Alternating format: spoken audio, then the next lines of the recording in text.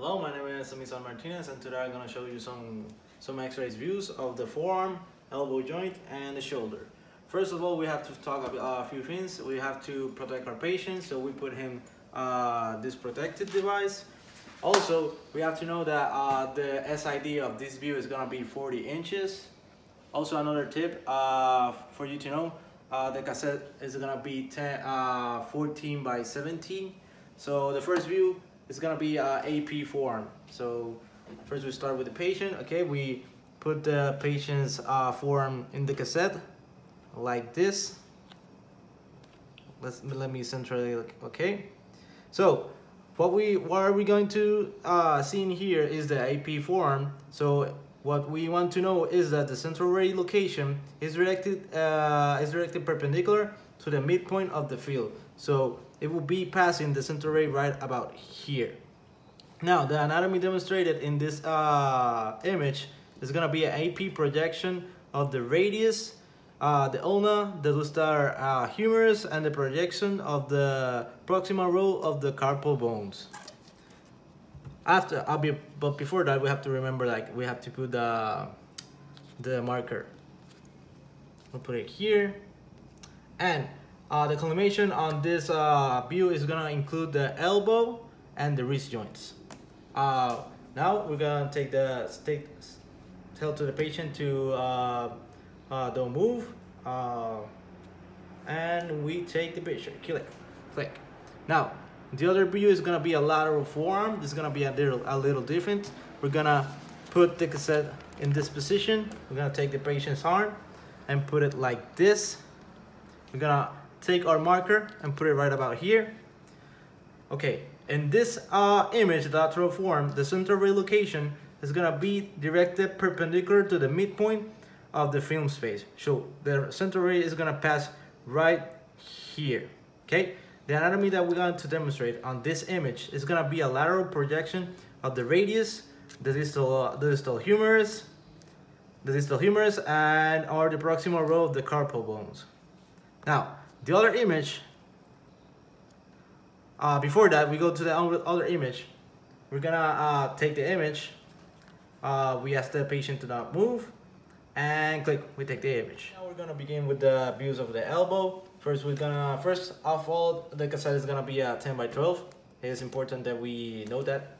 And the first view of this uh, is gonna be the AP elbow. We ask the patient to put the um, the elbow a little bit in front like that. So we put the marker right over here. And for this view, the central ray is gonna be directed perpendicular to the elbow joint. So the central ray is gonna be passing right about here. The anatomy demonstrated in this image is gonna be an AP projection of the elbow joint and we will have the distal end of the humerus, proximal end of the radius and ulna. That is uh, the view. Ah, but we ask the patient to not move and we take the picture. Click. The next view is gonna be a medial oblique elbow. For this view, the patient is gonna uh, rotate his arm like that. Let me fix the Excel here, like that. Okay.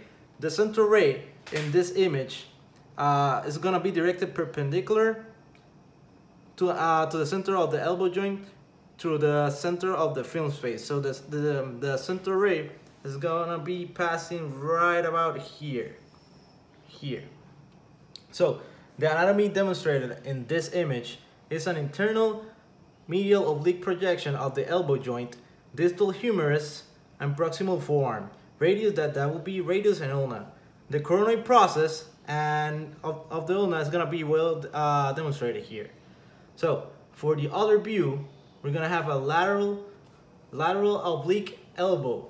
So for this one, we ask the patient to turn his hand like that, like that, like he's, he's asking for money. Four, so in this image, the central location is gonna be directed to the midpoint of the elbow joint through the center of the field.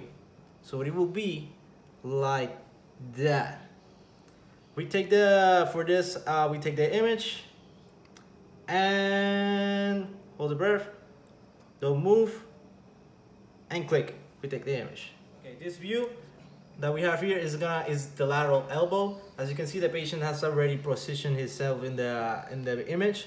We're gonna have him put the arm like that, like in the 90 degrees here, and we put important the marker over here. The central ray location uh, is directed perpendicular to the midpoint of the elbow joint through the center of the film. So it should be passing right about here, the center of the, the, the center ray. The anatomy demonstrated that we have in this image is gonna be the distal humerus, the proximal forearm, and the olecranon process and the fat pads should be visualized in this screen. So, and now we're gonna ask the patient to don't move and we take the image. Click. Okay, now we're gonna begin with the special views of the joint of the elbow. So the first view is gonna be the elbow joints, acute flexion position for the olecranon. So in this view, we uh, put the patient's elbow like that and ask him to flex and put uh, the hand in his shoulder. It's important to know that the cassette is gonna be at 10 by 12. So the center ray the, the, the location of the center ray is to be directed perpendicular to the humerus approximately 2 inches superior to the olecranon process through the center of the receptor space. So it should be right about um, here. Right about here. So the anatomy demonstrated is going to be a forearm and humerus should be superimposed with no rotation. The olecranon process is soft, soft tissue and distal humerus should be visualized. Now, the other view, after before we take the view, we have to take the image. So um, we ask the patient to not move and click with the image. The next view is gonna okay for this other view is gonna be an elbow acute flexion position of the ulnar sulcus. We have our patient in this position and the central ray location is going to be directed perpendicular to the humerus approximately 2 inches superior to the olecranon process through the center of the receptor space it should be passing right about here. The anatomy demonstrated is the forearm and humerus should be superimposed with no rotation. Olecranon process is a soft tissue and distal humerus should be visualized. We take the, we put a, we put our marker we take um we ask the patient not to move and we take the image. The next view is gonna be uh, the Holy Holy method for special examination. So this view is divided by distal humerus and proximal radius. The first we're gonna do is the distal humerus. We ask the patient we put our cassette here. We ask the patient to rest his arm in the supporting device we put our marker like this, okay? Perfect. The center ray, the location of the center ray is gonna be directed perpendicular to the uh, through the elbow. So the center ray should be passing right about here. The anatomy demonstrated is an AP, AP projection of the humerus and proximal radius, and the ulna into two separate expo exposure. We take, we ask the patient not to move, and click we take the image. The next view is gonna be the radius ulna. We're gonna have the patient uh, resting his hand on a sponge, supporting sponge. The center ray uh, in this image is gonna be directed perpendicular to the through the elbow, so it should be passing right about here. The anatomy demonstrated on this image is gonna be an AP projection of the distal humerus right about here and radius and the proximal radius and the ulna into separate exposure. We ask the patient to not move and click, we take the image. For the other one, it's gonna be the Coyle for radial head and, ca and capital. For uh, we have to know that this for the, the cassette for this uh, image is gonna be an 8 by 10. So we position the patient's arm like this. So the central ray in this image is gonna be uh, 45 degrees away from the shoulder through the elbow. So it should be passing right about here, right about here. Okay? And we ask the patient to not move and we take our image. Click. Okay, now we're gonna proceed with the shoulder views. The first one is gonna be the AP humerus.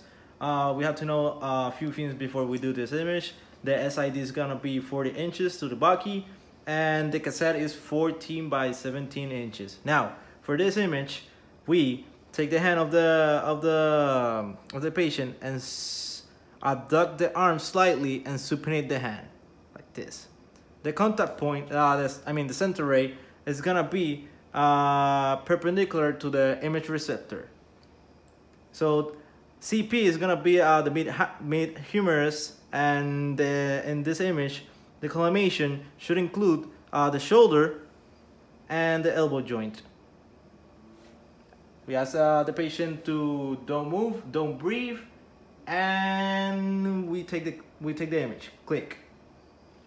For this for this one is gonna be the lateral humerus or shoulder internally rotated. For this uh, image, we're gonna ask the patient to put his hand like this, like a T pose, and for this uh um for this image, the center is gonna be uh, directed perpendicular to the image receptor, and we ask the patient to don't move, don't breathe, and we take the image. Click.